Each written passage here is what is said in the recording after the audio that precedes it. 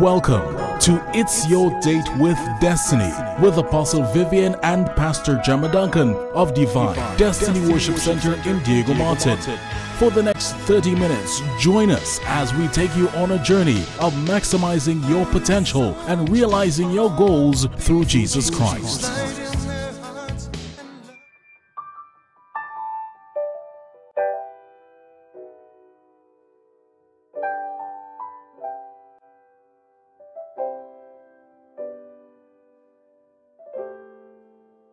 Why is it when you need a miracle, it doesn't happen, but when you least expect it, it happens? You are married. You have challenges in your relationship, but your spouse is unwilling to accede to any counseling. Is divorce an option? How does a parent handle a promiscuous child? What are considered the do's and don'ts of a born again couple who is not yet married? There are always more questions than answers. So here is Apostle Jemma. A very good morning to you. Welcome, thanks, Pastor Jemma. As usual, I'm so happy that you took the time to be with me this morning. This morning, we're going to talk about women, and uh, we're going to be doing so for a little while. I'm going to look at some women in the Bible, and we look at some of the lessons that we can learn from them. And uh, some of us will see ourselves in these women and um, perhaps understand from their personal experiences the things that we're facing and what we can do if needs be to make changes in our lives. Um, in case you're a first time viewer, my name is Jemma Duncan. I am married to Apostle Vivian Duncan, and together we pastor Divine Destiny Worship Center. Our headquarters is in Diego Martin, opposite Sardonyx Drive on the Diego Martin Main Road. We have branches in Sangre Grande, in Chaguanas, in Fyzabad, in Rio Claro. We have one in Tobago, one in Antigua. Today, I am going to look at the very first woman in the Bible, and uh, almost everybody know that her name is Eve, because Adam and Eve come together like bread and cheese. and Eve was the very first woman and uh, her name means life-giving or mother of all who have life. So ladies, Eve was our progenitor. And uh, well, one of the things we know full well is that um, Eve has been blamed for all the ills that mankind suffered because she was the one who interfaced with the serpent, the devil, in the Garden of Eden. One of the things about Eve was Eve was God's idea. You know, and sometimes we want to say this is wrong and this shouldn't be. But initially, she was God's idea because God said in Genesis chapter 2, verse 18, and the Lord said, It is not good that man should be alone. I will make him and help meet for him. So it's a little complex and I don't want to go into all of the details, but Adam at some point was made in the very image of God and he was spirit in spirit form. It was sometime later that God took dirt and made flesh as we know it. So we've come from the earth. And uh, at some point, God said it wasn't good for man to be all alone. And uh, understand the translation means all in one. So, you know, I don't want to go into all the, the ramifications of it because you know, the idea is not to confuse you. But some people say, how could it be all in one? Well, if the Bible says that God took her out of him, then the presumption is they were all in one. You know, remember, the Bible says that he put him to sleep and he took a rib out of him and he took Eve out of Adam. And she was called woman, the Bible says, because she was taken out of man. So suffice it to say, read for yourself and see what conclusions you come to. I try not to go too far with the mysteries and the things that are not readily understood, the things I grasp that are important to me and my life presently, are the things I hold fast to. However, be that as it may, Eve, I believe was a real person because some people think is a myth and so on. I really believe that Adam and Eve really existed, that they were real people, and I believe that all living came out of Adam and Eve. And so Eve was joined to Adam, uh, was introduced to Adam. And uh, if you look at it in today's setting, she was like given to Adam. So God was the father giver. and uh, he introduced um, Eve to Adam and so on. For a little while, and I'm not sure how long it was, they seemed to be living pretty good in Eden. God provided everything that they needed, and they seemed to get along fine. And uh, one day, the devil is having a conversation with Eve. Verse 1 of chapter 3 reads Now the serpent was more subtle than any beast of the field which the Lord God had made. And he said unto the woman, Yea, had God said, Ye shall not eat of every tree of the garden? And the woman said unto the serpent, We may eat of the fruit of the trees of the garden, but of the fruit of the tree which is in the midst of the garden, God had said, He shall not eat of it, neither shall he touch it, lest he die. And the serpent said unto the woman, You shall not surely die. For God doth know that in the day that ye eat thereof, then your eyes shall be opened, and ye shall be as gods, knowing good and evil.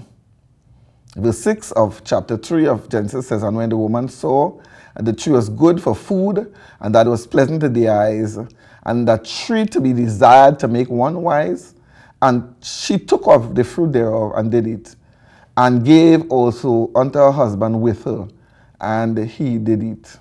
And the eyes of them both were opened, and they knew that they were naked. And they sewed fig leaves together, and they made themselves aprons. Now, the thing is, the Bible had initially said of Adam and Eve, they didn't have on any clothes. And the Bible says they were naked and unashamed. For some reason, the nakedness didn't seem to matter to them. They seemed not even aware that they were naked. It was normal to them for however they were.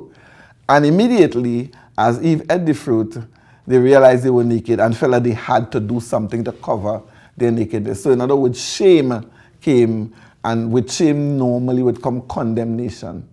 And my eldest son, his eldest child, said something so powerfully one day that I never forget. He said, God does not condemn, he convicts. And Satan condemns. Anytime you, the end of your action, the end of your behavior, the end of your thought or your words brings condemnation to you, it comes from the devil because God convicts. What does God do when we do wrong? He convicts us. What should conviction do? Conviction draws us to God. Conviction pushes me towards God and say, I'm sorry, you know, I didn't listen to you. I should not have done that, and so on and so forth. Conviction doesn't make me cover anything because when I cover up, it means I'm not taking responsibility for my action condemnation says, you know, you need to hide. And usually those of us who tried to cover up, you realize that you make a total mess of covering up. And the, the, the end of it is worse than the beginning. So many times you might as well confess because you lie and you can't remember what you say. My mother always says a liar has no memory. And when you start to cover up, um, you're telling one lie, but you forgot what lie you said. And then the next time you talk, it's another lie. And I mean, and it becomes bigger and bigger. And so here is Eve, and we're talking about women in the Bible and the lessons we can learn from those women. So Eve was brought to be a helper meet for him. Remember we just said God said it wasn't good for man to be alone. In verse 19 of chapter 2 it says, And out of the ground the Lord God formed every beast of the field and every fowl of the air, and he brought them unto Adam to see what he would call them. And whatsoever Adam called every living creature, that was the name thereof. And Adam gave names to all cattle and to the fowl of the air and to every beast of the field. But for Adam there was not found an help meet for him. And the Lord God caused a deep sleep to fall upon Adam, and he slept, and he took out of his ribs and closed up the ribs instead thereof. And the rib which the Lord God had taken from man made he a woman and brought her unto the man. And Adam said, This is no bone of my bone and flesh of my flesh. She shall be called woman because she was taken out of man. Therefore shall a man leave his father and his mother and shall cleave unto his wife, and they shall be one flesh. In verse 25 says, And they were both naked, they were man and woman, and they were not ashamed. So Eve came as a help meet for Adam. Let's talk about that a little bit um, most people, when asked what did um, was Eve called, and we say she was a helpmate. And if you look in your Bible, the Bible never said helpmate. He said he found and helped meet for him. It was not even one word. He found and helped meet for him. That's what Genesis says. What does a help meet as opposed to help mate?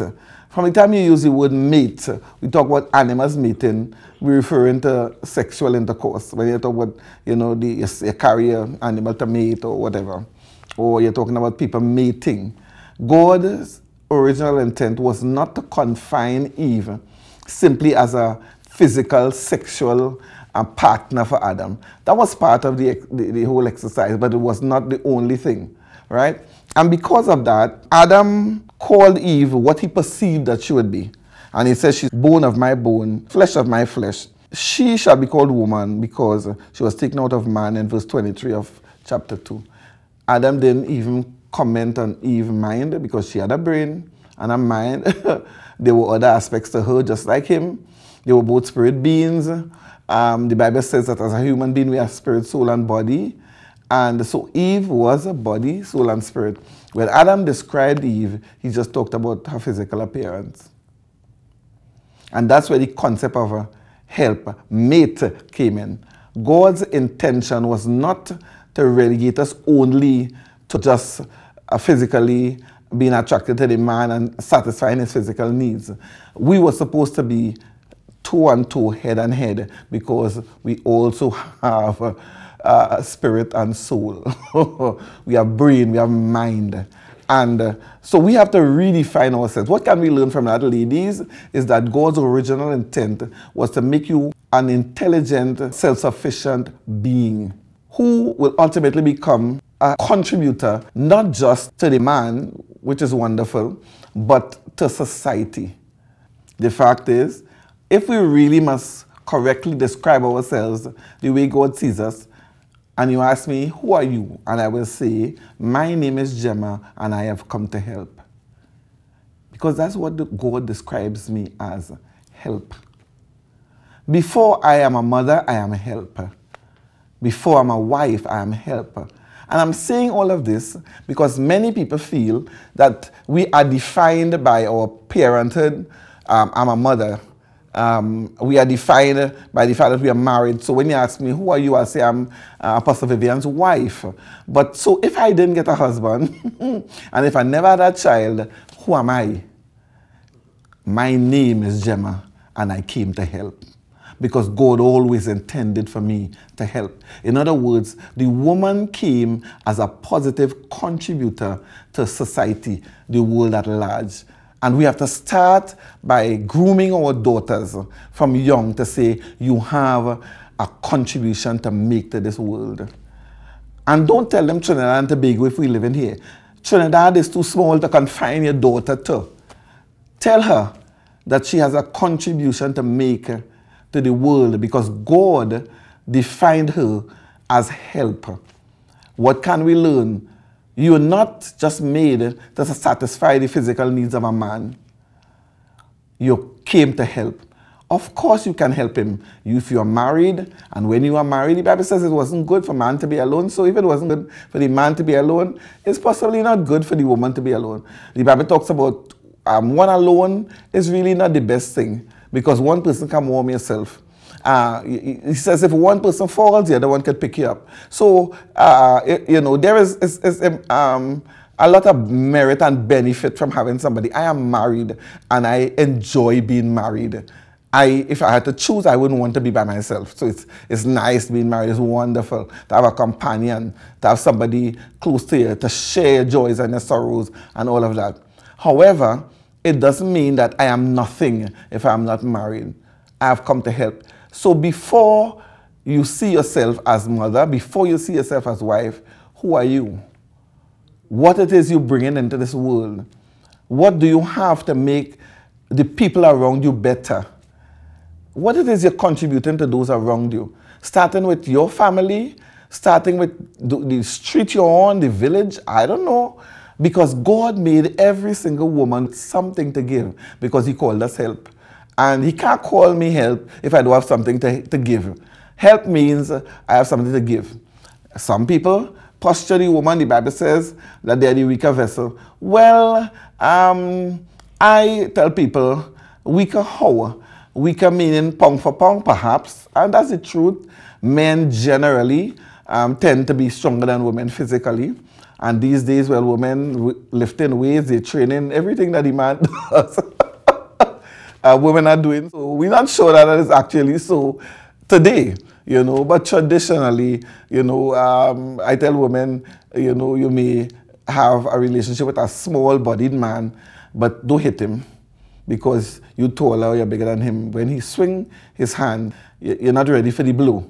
And I believe that is, I just, I'm not any big scholar, but I'm just, this is my interpretation. I may be wrong, right? But uh, when God says I'm help, if a man, for example, he says it's not good for the man to be alone, I'll make him a helpmeet for him, wants help. Let's say my car runs into a ditch and I want help. What am I going to use for help? Should I use a bike because I'm supposed to be the weaker person? Should I use a motorbike? Um, do I use a car the same size as the one going in it? And you know all those things I know.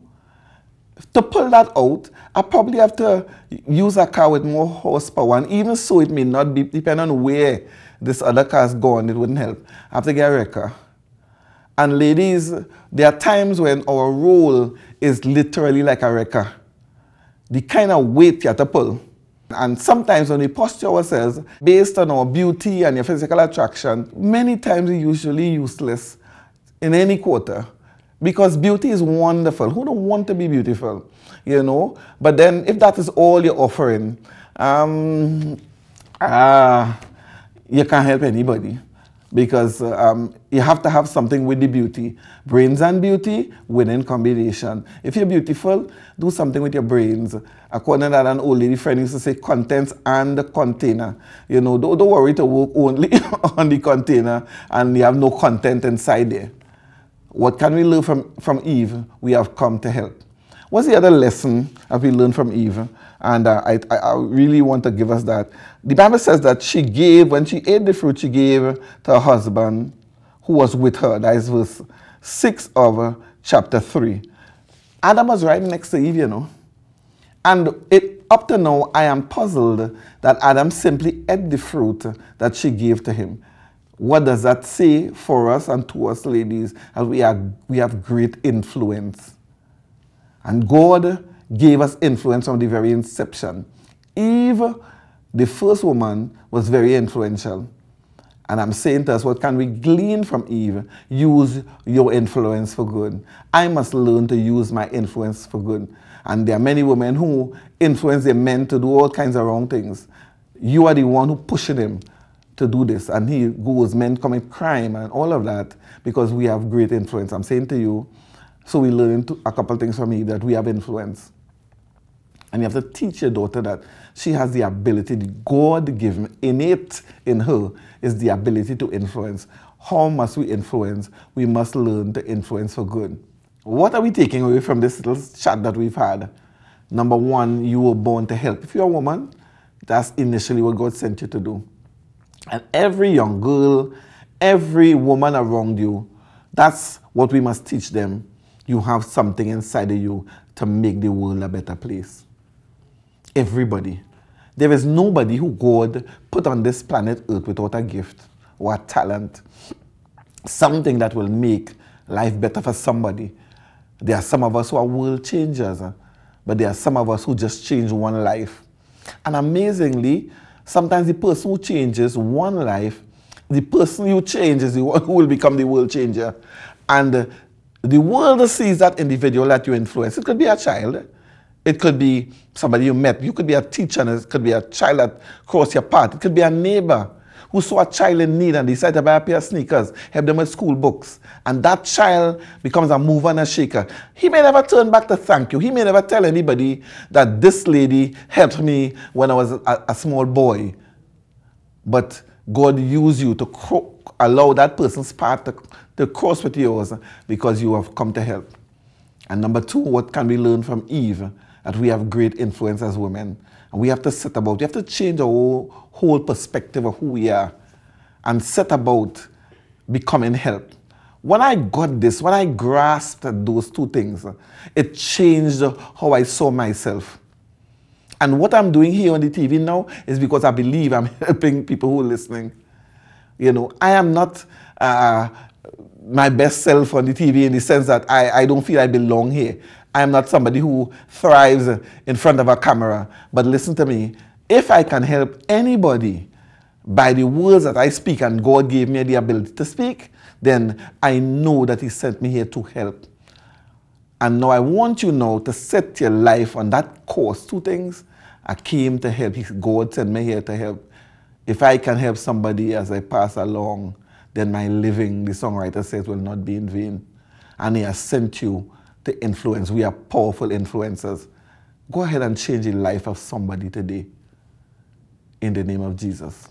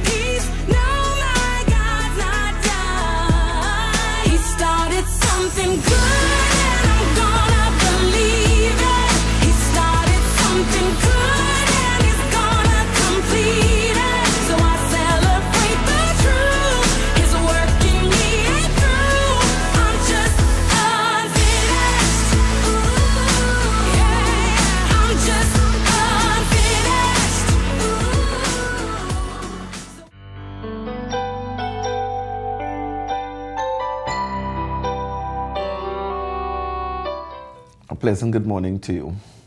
Have you ever said to yourself, I really wish I can understand the Bible better? I read the Bible, but I simply do not understand it. I wish I knew enough to share my faith. Sometimes I sit in the pew and I don't quite understand because the pastor uses so many scriptures. If you said any of these things, today I have the answer and the solution to your problem. My name is Jemma Duncan. My husband and I are the pastors of Divine Destiny Worship Center with our headquarters in Diego Martin. And we have a program called the School of the Bible that I would like to introduce to you today. School of the Bible is a one-year program for simple, regular, ordinary people who sit in the pews, whose only desire is to understand the Bible better. Since 2014, we've catered for a wide range of persons as young as 10 years old and the people into their 80s. So it's something that the average person can really understand and grasp. Although we cater primarily for people in the pews, we've had a few pastors who came and they felt that they should just sharpen up their, information base on the Word of God. Since 2014, we've helped almost 400 persons ranging from young to way into the 80s. The program lasts for a year. Every Tuesday from 7 to 9 we meet and for four Saturdays for the entire year. Every quarter we have what we call a quarterly assessment meeting. The quarterly is from 9 to 4. We also have online facilities and we've been really blessed. We have had people from USA, Canada, Europe, the Caribbean countries, Tobago, and we actually have what we call a local online group or groups of people who cannot come to what we call in class in Diego Martin. It doesn't matter where you are, you can access School of the Bible. We have lectures, we have group reports, individual book reports, movies, training in all our presentations that we call five minute sermonette, uh, PowerPoint presentations. I mean, you name it, we have it. And we cover a wide range of uh, topics. Our main resources are the Bible and the seven manuals, and I'm going to just quickly um, give you a sense of the manual. Volume 1 contains the overview of the Bible and the first five books of the Bible, called the books of Moses, the books of the law, or the Pentateuch. It goes from Genesis to Deuteronomy. Volume 2 are what we call the books of history from Joshua to Esther. Volume 3 are the books of poetry from Job to Song of Solomon. Volume 4, books of prophecy, and the books of prophecy are divided into the minor prophets, major prophets. The major prophets are from Isaiah to Daniel, minor prophets, Hosea to Malachi. When you come to the school of the Bible, you will get a further understanding as to why they are called minor and major. Shifting into the New Testament, volume 5 are the Gospels, Matthew, Mark, Luke, John, and the one historical book, the book of Acts. Volume number 6 are letters of Paul, they are called the Pauline epistles from Romans to. And volume number 7 are the general letters written by a variety of authors from Hebrews to Jude, and then the one book of prophecy in the New Testament, the book of Revelation. Other resource materials are available on request. We, we have them there. If you wish for them, they're not compulsory. You can request them and we'll order them for you.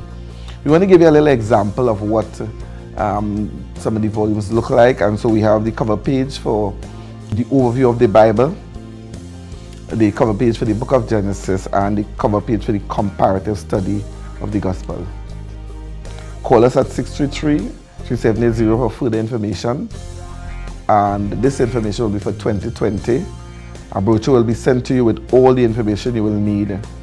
See you in School of the Bible in 2020.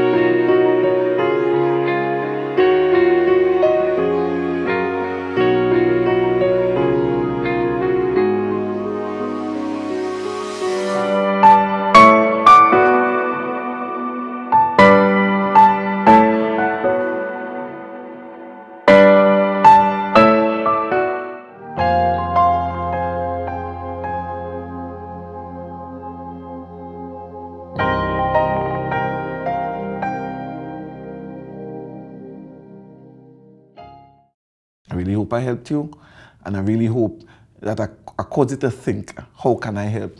How can I influence? I don't want you to ever forget what Jesus said. He said, I am the way, the truth, and the life. No man comes to the Father except by me. God bless you real good.